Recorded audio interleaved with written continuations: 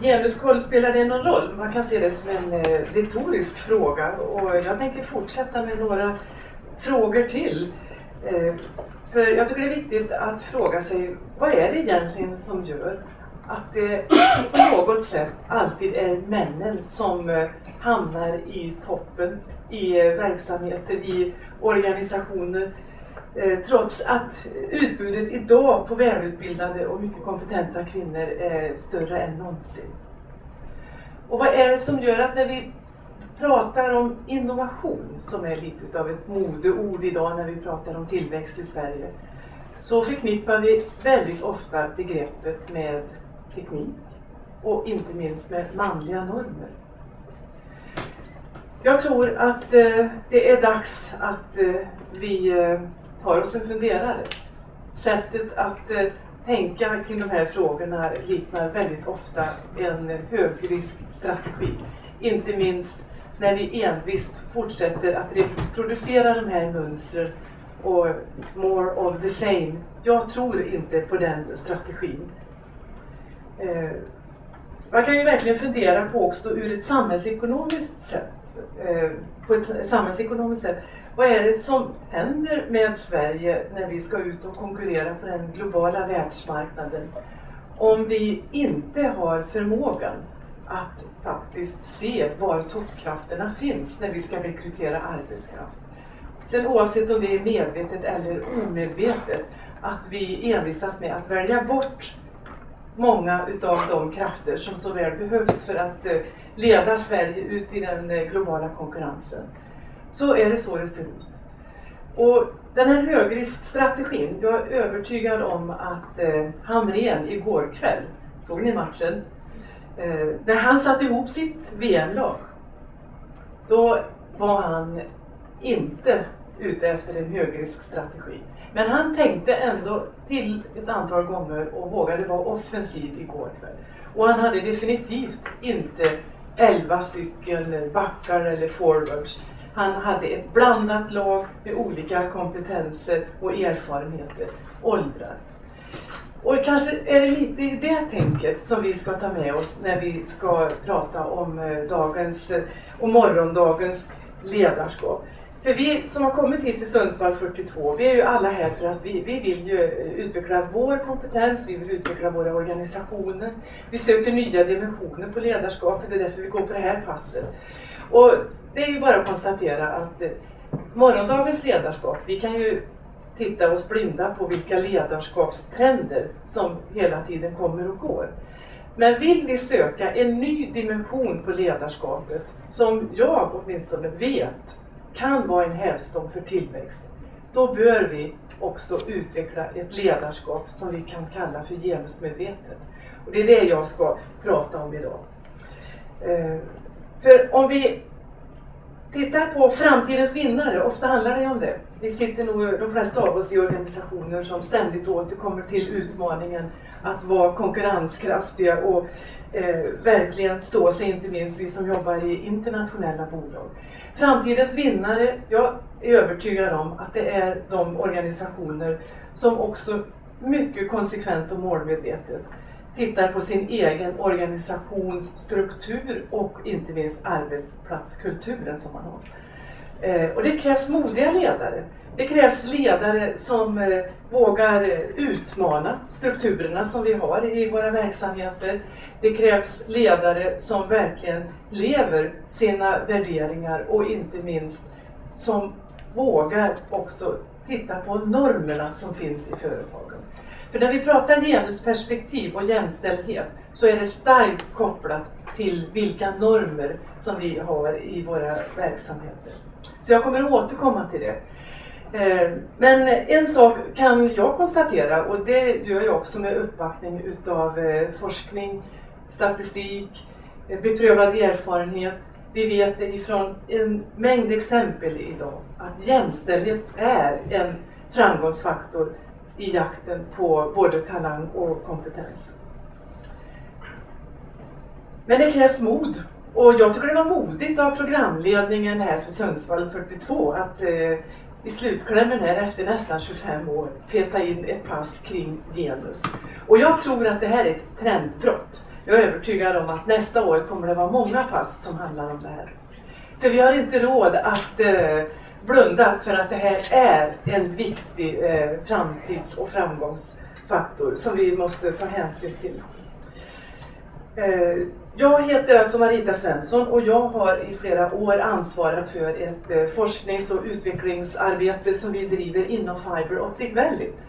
Eh, jag vet inte om ni känner igen begreppet. Vi finns här i Sundsvall också. Jag kommer från Hudiksvall där vi har sätet för Fiber Optic Valley. Och vi är ett innovationssystem, ett kluster kan man också beskriva det som. Och vi har uppdraget att få näringslivet, forskningen och den offentliga sektorn att samverka med varandra. Inte minst vad gäller forskning och företag. Och vi jobbar mycket tillsammans med Mittuniversitetet som finns här i stan och Sundsvalls kommun och också en del företag. Eh, precis som namnet indikerar så har vi ett fokus på bredband och sensorteknologi och givetvis fiberteknik. Det här innovationssystemet det grundades för snart eh, åtta år sedan. Och redan från start så eh, var vi väldigt medvetna om att skulle vi uppnå målen som vi hade fått från våra finansiärer, bland annat Vinnova och Tillväxtverket, så räckte det inte att bara titta på teknologin och utveckla forskningen och kunskapen kring den. Då var vi också tvungna att aktivt gå in och leda ett förändringsarbete i alla de organisationer som finns inom klustret. Så det jag ska berätta för er idag, det är kunskaper ifrån forskning och erfarenheter ifrån ett antal företag som vi har arbetat väldigt nära med under åren som har gått. Eh, och jag kommer också att göra det i form av en eh, utblick i världen. För jag tycker alltid det är intressant att se hur förhåller vi oss till andra länder när man arbetar med de här frågorna. Och inte minst, hur ser det ut här i Sundsvall i Västernorrland med genusperspektiv? Några utav er räckte upp handen på Evas fråga och jag förstår att ni redan har en medvetenhet.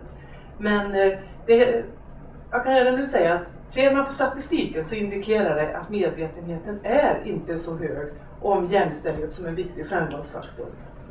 Eh, jag ska också ge några intressanta exempel ifrån vår forskning. Företag som vi har jobbat väldigt nära tillsammans med och som idag utan att tveka går ut och säger i deras utveckling så har genusmedvetet ledarskap varit en viktig faktor för att de idag är mer lönsamma och produktiva än vad de var för fem år sedan när de gick in i projektet. Och de exemplen ger jag också för att ni ska förstå lite utav hur det här arbetet egentligen har gått till. Redan när vi som sagt planerade Fiber Optic Valley så gjorde vi en form utav eh, analys utav hur det egentligen ser ut i vår region. Och då kan vi baka ihop Västernorrland och Gävleborg. Tittar vi på statistiken så är det egentligen inga större skillnader mellan hur det ser ut, även om ni har en, eh, finns i en större stad. Så är det påfallande likt. För vi befinner oss i en region som är starkt präglad utav de hierarkiska maktstrukturer som historiskt alltid har funnits i de industriföretag som eh, finns i den här bygden. Och I Hudiksvall så har vi en mycket stor arbetsgivare i Iggesund Paperboard. Och där har vi också, kan vi säga, bruksandan med som en del i det här. Och i historien har det alltid varit män som leder de här företagen. Och den här bilden ja, kan vara Holmen, Iggesund Paperboard för kanske 100-150 år sedan. Och då ser vi ju givetvis att det är samtliga män. Men det intressanta var att när vi började gå in och också arbeta med Iggesund Paperboard så såg det ungefär likadant ut i ledningen för fem år sedan. Och jag kan säga att det gör det inte idag. Eh, här har ni väl motsvarigheten i SCA, stämmer inte det? Det är att eh, er stora industri inom papper och tillverkning. Eh, har ni någon aning om, ser det ut liknande på toppen där? Ledning, styrelse?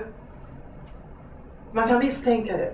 För i de här traditionella industri och processindustriföretagen så ser det ofta ut så här. Eh, och det har vi också då kunnat konstatera, det kanske inte är den eh, bästa sammansättningen i en ledning för att verkligen vara innovativ och konkurrenskraftig på sikt. Ehm, och framförallt så har vi ju, som jag sa inledningsvis, inte råd att eh, tappa bort alla de toppkrafter som jag är övertygad också finns i bland kvinnorna som idag faktiskt dominerar våra utbildnings, eh, eh, våra högskolor och universitet i Sverige. För man kan ju verkligen fråga sig, vad är det som händer på vägen? Idag är det definitivt många fler kvinnor som både tar examina och som avslutar universitetsstudier. Men fortfarande, när vi börjar studera vad som händer på vägen upp i karriären, så ser det ungefär ut så här i många utav våra företag och organisationer i Sverige. När vi eh, insåg att det var så här det såg ut så valde ju vi att agera och vi gjorde det genom att bjuda in många utav cheferna i våra medlemsföretag i först en dialog men också i ett eh, forsknings och utvecklingsprogram som jag nämnde. Eh, vi var ganska provokativa. För när vi tyckte att det var det här vi såg, att det fanns bara killar som tycktes gilla killar uppe i toppen, så skickade vi ut en inbjudan till att eh, gå en ledarskapsutbildning för att verkligen förstå vad är egentligen ett genusperspektiv och vad kan det innebära för våra företag. Eh, det här är också kan jag säga, ett exempel på den kommunikation vi har valt att ha under åren. Vi har varit medvetet provokativa många gånger. För det här är en fråga som är så lätt att bara sopa under mattan, att man inte lyfter upp den på agendan utav många olika skäl. Och då behöver man vakna till lite och ta sig en funderare på vad är det egentligen som styr att det ser ut som det gör? Eh, men jag blickar ut lite i världen och inte minst också tittar lite historiskt på hur svenskt ledarskap och management traditionellt har sett ut. Och då kan vi konstatera att det är till stor del präglat utav de industriföretag som faktiskt också har bidragit till att våra regioner är så starka och attraktiva som de är. Men under åren som gått så kan vi väl konstatera att svenskt ledarskap det har faktiskt vattnats ur till en stor del. Eh, för 20 år sedan så pratade man ofta om att svenskt ledarskap det var egentligen en kunskap och en managementtradition som vi skulle kunna exportera. För vi är jättebra på att arbeta med medarbetarna eh, väldigt nära oss i våra ledarroll. Vi är bra på att delegera, att samverka, konsensus, jobba på förtroendet och tilliten i eh, våra grupper. Men vi kan också konstatera att det där har på sikt börjat ändras till viss del. Och vi har blivit väldigt, väldigt mottagliga för nya ledarskapstrender som nästan alltid kommer från väst. De kommer ofta ifrån USA. Och det är trender som kommer och går. Eh, de utav er som har varit chefer i ett antal år, ni eh, känner säkert igen det. Blickar man tillbaks så kan man se att ja, nu är det det som är inne. Så går vi en kurs på det och så lär vi oss detta och så kommer det något nytt hela tiden. Men om vi ser hur det traditionellt har sett ut i Sverige så kan vi konstatera att sättet att leda det är sprunget ur den här starka traditionen kring industrialismen som vi har byggt upp i Sverige. Eh, men om vi blickar framåt då. Jag tycker Sundsvall är ett väldigt intressant exempel för jag vet att ni har verkligen fokuserat på tjänstesektorn här i Sundsvall. Och utav BNP idag redan så är det faktiskt så att 70 procent av BNP är tjänsteproducerande företag. Och då är det inte alls säkert att vår managementtradition passar in i sättet att leda de tjänsteföretag som framgent kommer att utvecklas och vara en så viktig del för Sveriges utveckling. Så både i Sverige och om vi blickar ut i Europa så vet vi ju att där tonar ju orosmolnen upp sig definitivt. Och det handlar inte då bara om eh, finanskrisen i södra Europa. Det handlar lika mycket om att i hela Europa idag så är det svårt att hitta toppkrafter. Expertkompetensen är en bristvara. Och det är det som också bidrar till att vi har svårt idag att på samma sätt som tidigare konkurrera på en eh, världsmarknaden. Vi tappar både i konkurrens och innovationskraft.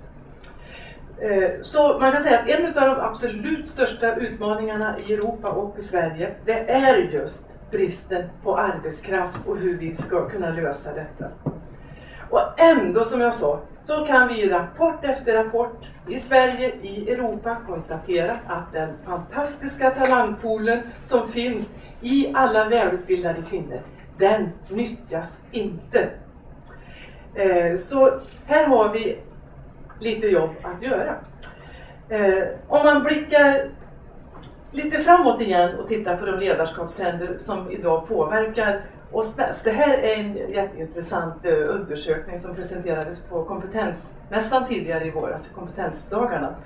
Där Kairos Future, som är framtidskonsulter, hade frågat nästan 2000 chefer. Vad är det egentligen för olika idéer och modeller som du tycker är viktigast i ditt ledarskap? Och det bekräftar det jag sa.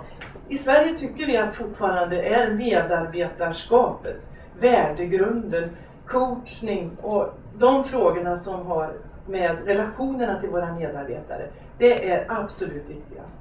Men det var väldigt få som i de här undersökningarna också kopplade det till att det ligger jättenära det jag idag pratar om, nämligen hur man arbetar genusmedvetet.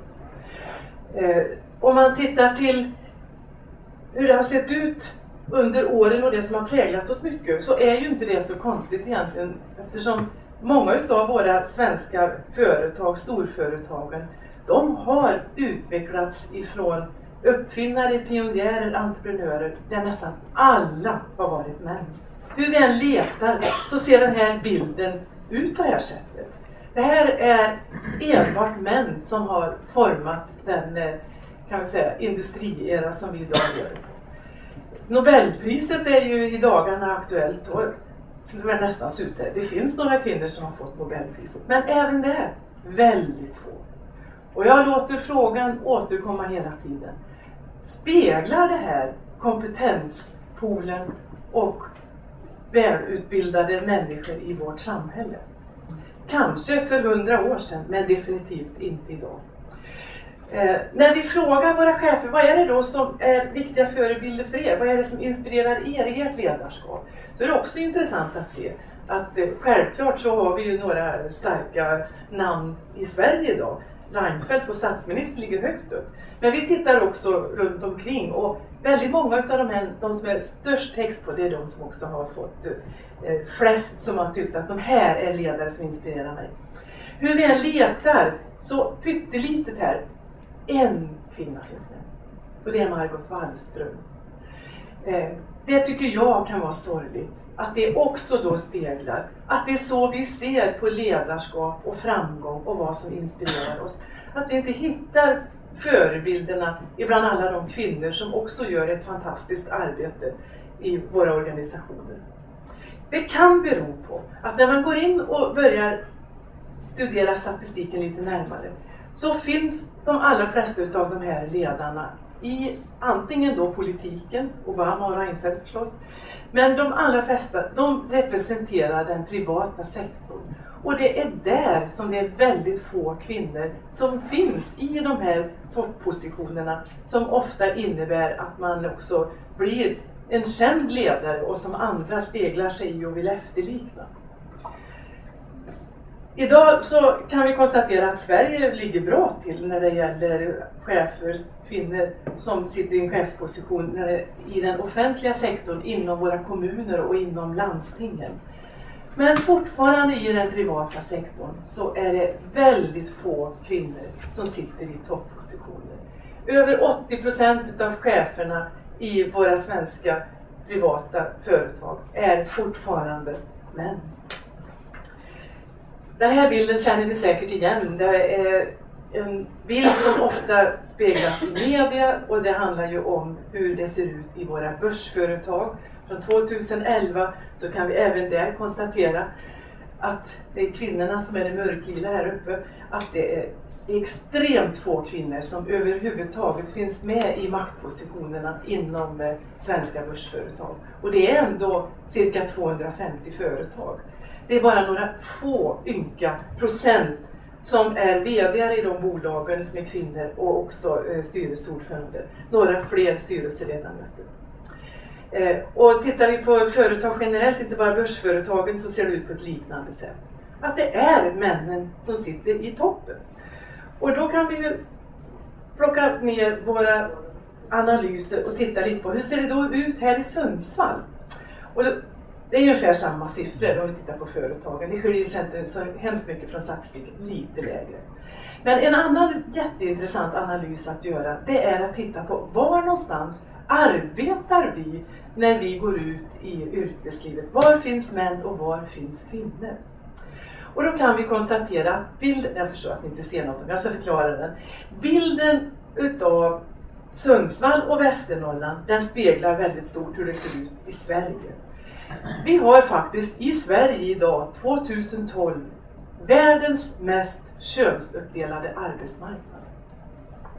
Och då brukar många säga, nej det kan inte stämma, vi är ju ett av världens mest jämställda länder. Och det stämmer.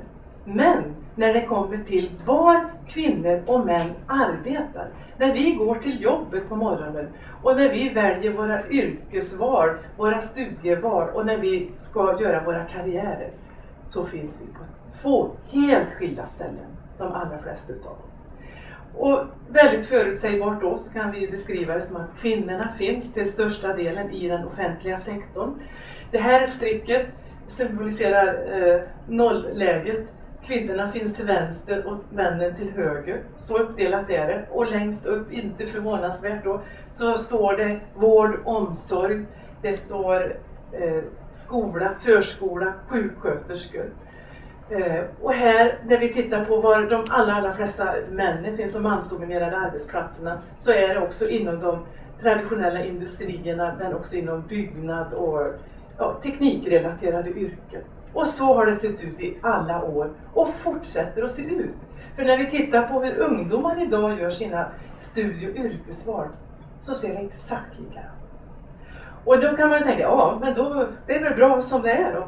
Men om jag då går tillbaks till det jag sa inledningsvis, att vi ska tänka lite som Hamrén gjorde igår kväll. Att vi vill ha de här blandade lagen för att nå framgångar och bli konkurrenskraftiga. Ja, då kanske det är hög tid att fundera över om det här verkligen är bra eller inte. Vi hade en liknande bild som vi utgick från när vi bestämde oss för att dra igång ett aktivt förändringsarbete inne i våra organisationer i Fiber Optic Hej och Det arbetet, det kan vi idag mycket stolt säga har rönt eh, väldigt stor uppmärksamhet. Eh, och jag blir idag ofta inbjuden också i internationella sammanhang och prata om hur vi har lyckats driva en sån aktiv förändringsprocess i de företagen som valde att gå in i vårt forskningsarbete. När vi startade igång den här processen så var vi väldigt eh, tydliga med att vi ville jobba nära genusvetenskapen. Och det har ni genusvetare här på universitetet bland annat. Eh, och det var en viktig orsak. Dels för att de besitter den absolut vassaste och senaste kunskapen om den här frågan. Men också för att i genusvetenskapen så arbetar man väldigt tydligt med att också synliggöra maktstrukturer. Att man tittar på makten. Och det där är lite tufft när man går in i organisationer. För när du börjar ifrågasätta, synliggöra och också diskutera hur man ska förändra hur maktbalansen ser ut, då väcks motståndet. Det kan jag lova. Jag har i många, många år arbetat eh, både som chef och också som konsult i företag och jag kan säga att jag har aldrig i några uppdrag tidigare stött på så mycket motstånd som jag har gjort under åren när jag har arbetat med förändringsprocesser kring genus.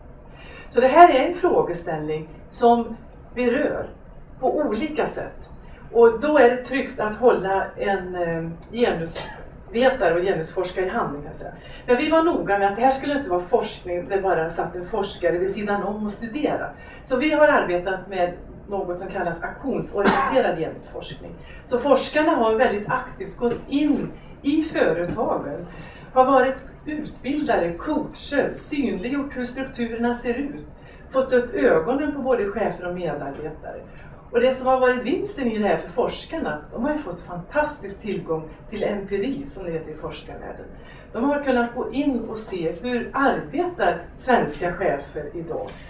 Och företagen har fått hjälp att synliggöra normerna och maktstrukturerna inte minst, bland annat. Eh, nu har jag satt ordet genus många gånger och vi pratade lite innan vi eh, startade här. Vad är egentligen genus? Ja, väldigt förenklat så kan vi säga att genus är en social konstruktion. Det handlar om hur vi förhåller oss till varann, om vi är kvinnor eller män. Eh, vi använder ju ofta också blandat med begreppet jämställdhet. Och det är när vi har förstått hur genus påverkar hur vi agerar i de vardagliga mötena beroende på om vi är män eller kvinnor så vi också kan arbeta mot målet att bli en jämställd organisation. Och genusforskarna de har självklart många teorier i sin vetenskap men jag nämner här en teori som vi har använt ofta för att tydliggöra vad det är som egentligen kan vara hindret för utveckling kring den här frågan. Och det är en svensk forskare som heter Yvonne Hirdman som redan på 80-talet konstaterade att vi har ett system som vi alla förhåller oss i. Vi pratar mycket strukturer och system. Och det här systemet har två tydliga principer.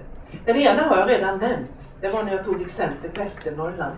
Att vi håller isär oss väldigt effektivt. Männen där och kvinnorna där. Vi ska inte finnas på samma platser och helst inte göra samma saker heller. Om vi nu hårdrar det hela. Och den andra principen som vi har använt tydligast i vårt arbete, det är att också förstå hur vi i de flesta olika eh, verksamheter och vardagliga aktiviteter använder en man som måttstocken. Mannen är alltså normen.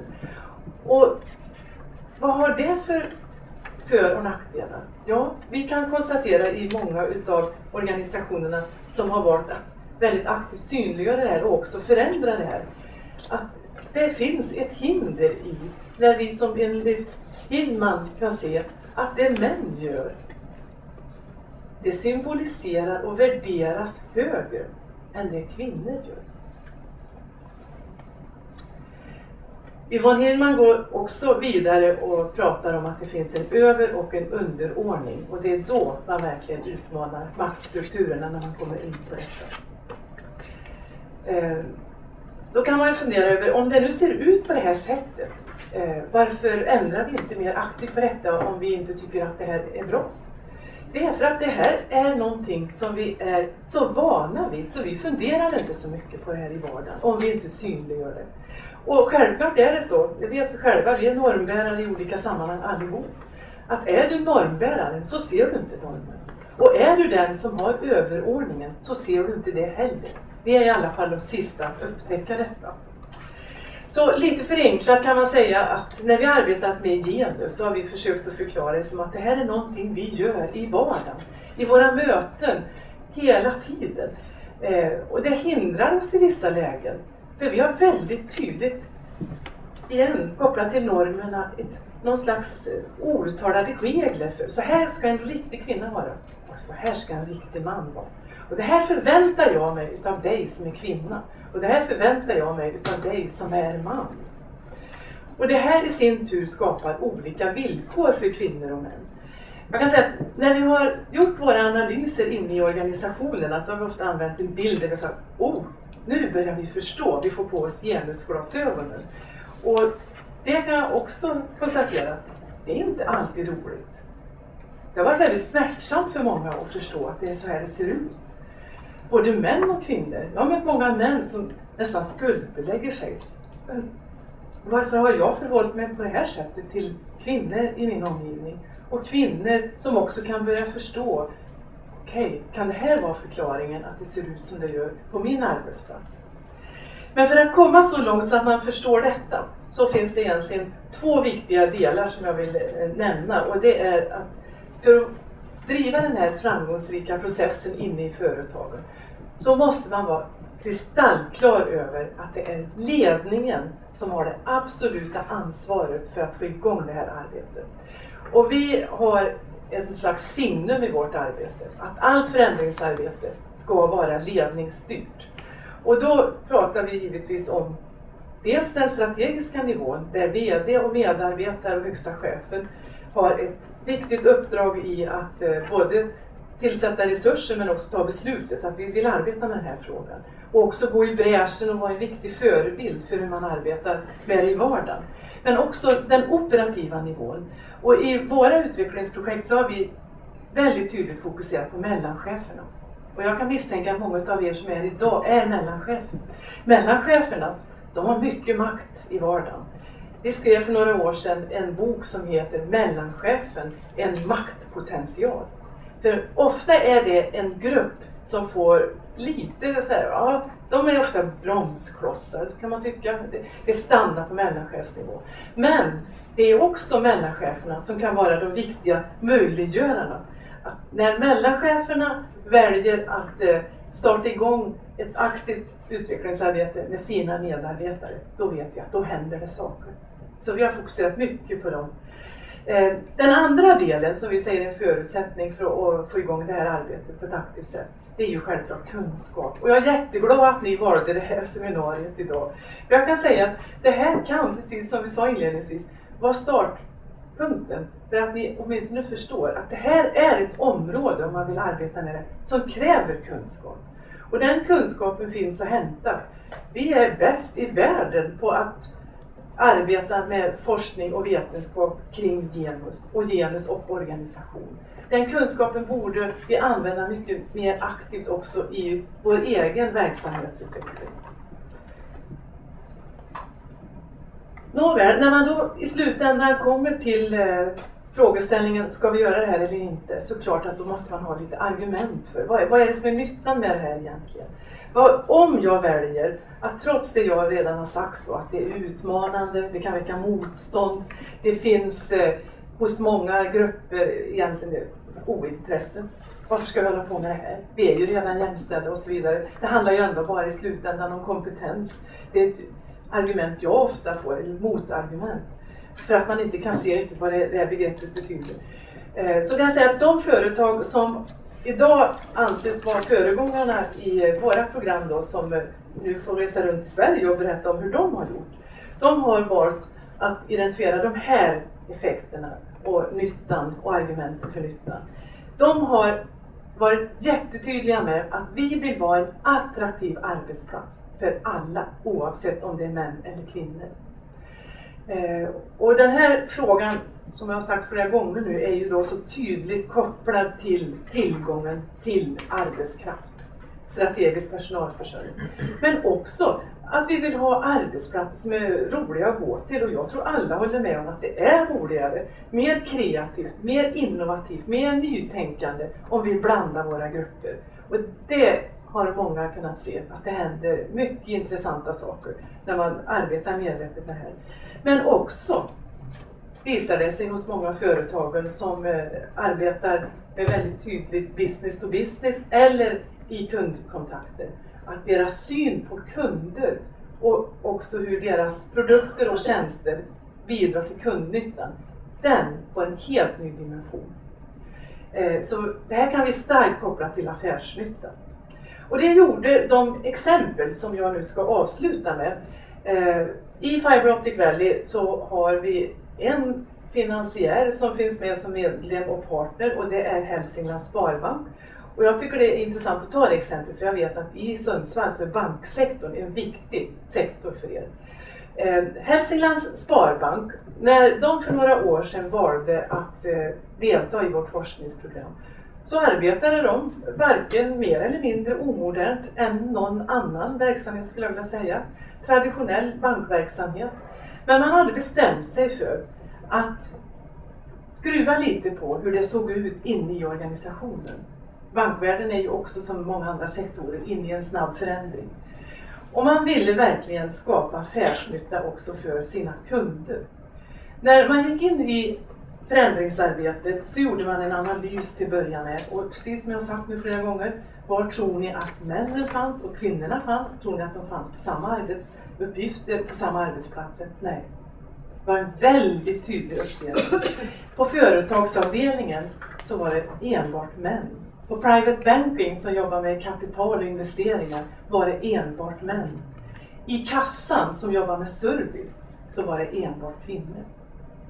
Och det var kvinnor som hade funnits i banken i 20-30 år. Men de blev kvar i kassan. De få män som kom in i banken den vägen, de avancerade snabbt uppåt i någon annan mer statusfylld position. Banken dominerades utav kvinnor till antal.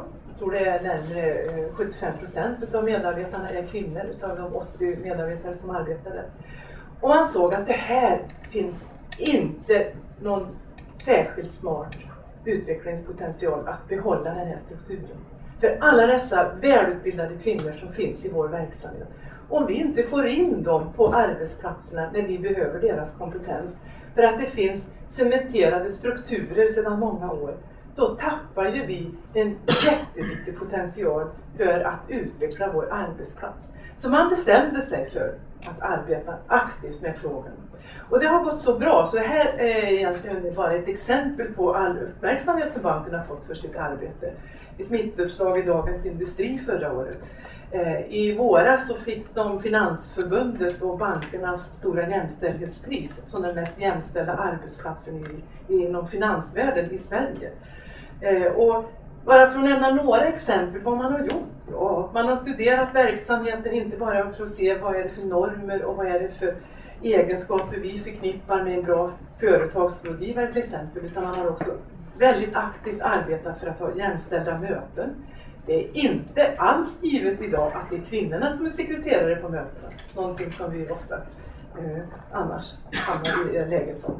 Eh, man har tittat på sina möten och kunnat identifiera vem eller vilka är det som tar talutrymmet på mötena eh, och vilka är det som har beslutsmakten. Och när man har studerat det här och har kunskapen att också förstå varför ser det ut så här, ja då är man också redo att kunna ändra på det här. För det har inte varit någon lätt resa på Sparbanken, men de har gjort det. Just för att de har varit så övertygade om att de är tvungna att göra det. Ehm, en viktig del som de har kunnat utläsa i sitt arbete, det är att eh, kvinnorna på arbetsplatsen inte, tyvärr, har tidigare kunnat anses ha den potentialen för avancemang och karriär som man har sett att männen bara självklart har ansetts ha. Och det här ser vi i många olika projekt och, och forskningsföretag, eh, eh att eh, potentialen hos oss som män och kvinnor, den värderas väldigt olika. Jag förstår att det var en vink. Nu börjar tiden gå mot sin eh, ända. Eh, när jag nämner banken så är det ett exempel. Eh, vi har många intressanta exempel. Och för att eh, också delge andra företag och organisationer som vill lära sig det här så har vi valt under våren och sommaren att skriva en bok som vi eh, smyglanserar i Hudiksvall om några veckor. Eh, och den heter just Genusmedvetet ledarskap. Det beskriver vi ett antal företag och också metoder, processer. Hur har vi arbetat för att eh, uppnå den här genusmedvetna ledarskapsmodellen som vi vet har varit så framgångsrik. Så jag vill egentligen då bara avsluta med att när vi blickar framåt, nästa generation, så vill jag ombilda det ordet till Next Generation. Och jag är övertygad, liksom många av företagsledarna i vår, forsknings, vår forskningsprojekt och i boken, att genuskoll, det spelar roll. Och jag kan väl också konstatera, eh, för att sammanfatta, för jag misstänker att det är det vi måste göra, eh, att eh, de argument jag oftast får när man kommer till frågan, ja, jag förstår att det här är värdefullt och jag vill eh, faktiskt börja arbeta med det. Det är att de flesta vet inte, men hur gör vi då? Eh, och det är väl där vi kan se då att eh, de här resultaten som vi har och också många andra som har arbetat med liknande utvecklingsprojekt, de är så viktiga. Vi behöver förebilderna. Och de här företagsledarna som nu går i bräschen för och går ut aktivt och säger att det här har påverkat vår produktivitet. Eh, Ericsson som är med i det här, de säger att det har ökat deras produktivitet med 10 procent sedan de började arbeta med genusfrågor. Banken har aldrig haft ett så högt eh, vinstmål som i år och de når det med råge. All time high säger man på banken och de kopplar definitivt inte med sitt eh, genusmedvetna leverne. Det tyckte jag var ett jättebra slutord. Ja, visst var det?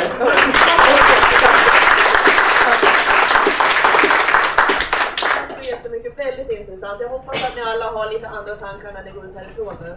Jag har det i alla fall.